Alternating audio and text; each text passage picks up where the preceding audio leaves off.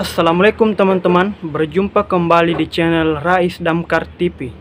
Di video kali ini saya akan memperlihatkan video menjahit lagi.